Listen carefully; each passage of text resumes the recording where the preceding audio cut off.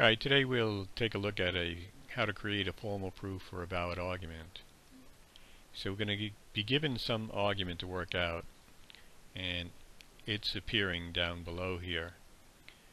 The first premise is the not S, second premise being T, third premise being this conditional statement that also involves a disjunction. And then the last statement is basically a disjunction that has a conditional in it. And the conclusion will simply be R. Now when we do this, we're going to first work up the towards the formal proof. We'll sort of do some practice work first. So the first premise, not S, is a good possibility to start because it's a single letter and it can relate to another premise uh, that involves it and is a little bit more complicated. The second premise is T and it's also a single letter. So it's also a possibility for a good start, but we'll have to see exactly which one we're going to start with. The third premise involves the letters Q, P, and R. Uh, so there's no S in there, there's no T. So it's unlikely that we're going to begin with that premise. The fourth premise, however, has both a T and an S. So this is the most likely one we're going to begin with, this fourth premise for sure. The conclusion, once again, is the not R.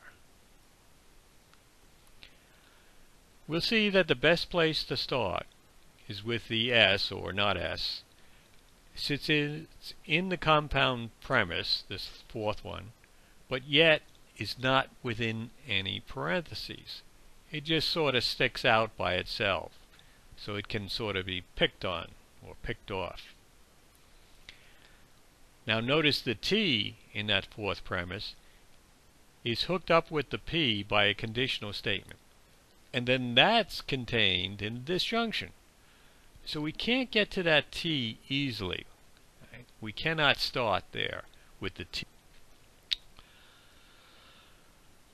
Okay, so we therefore want to start with the S, the simple S, as our first premise.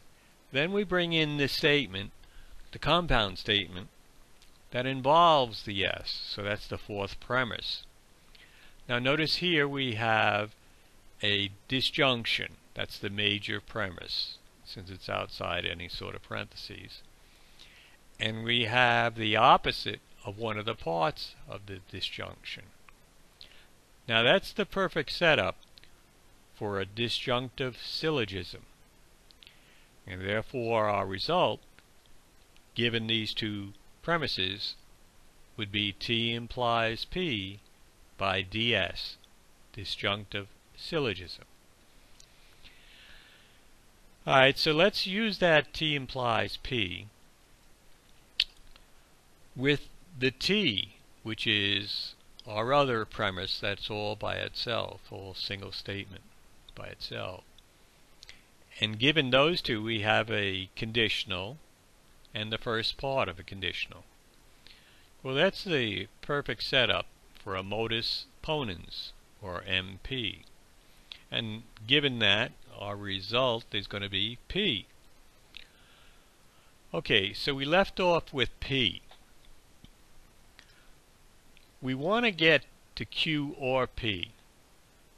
And we can by the use of a disjunction and the argument form DA disjunctive addition.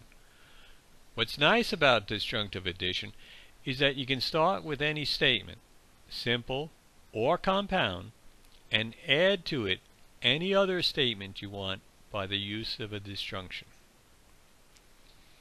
Now the reason we wanted Q or P is because of the last premise that we have, the Q or P implies not R. We wanted to get that Q or P statement together. And we have it. We have it from this step 6 here. So we now have a conditional, the first part of a conditional, and therefore the conclusion is not R by modus ponens. And notice that was our desired conclusion. We now have all the steps mapped out for us for a formal proof and the logical reason for each step. Notice I have listed these numbers, all 1 through 8, and they're going to actually be each step of the formal proof. So when we look at the formal proof, we'll have a statement on one side and the reason on the other. So we started with S and T implies P or not S. Both of those were premises. And from that we got T implies P by 1, 2 ds. We then brought in the T, which was the premise. And from those two, 3 and 4, and using modus ponens, we were able to get P. So notice the reason for the P is steps 3 and 4, and the argument form modus ponens. Once we have the P, we can add on the Q to get Q or P. And that's by dA. So we took step 5 and used dA to get Q or P.